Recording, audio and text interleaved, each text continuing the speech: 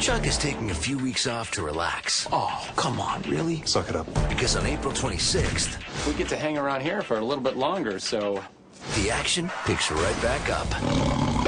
I made an oopsie. I'm leaving my little brother. Sorry, Al. Anna, what are you doing here? You have got to be the worst candidate I've ever trained. Ellie, wait!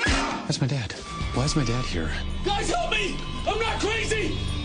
New Chuck returns in three weeks on NBC. It is gonna be great.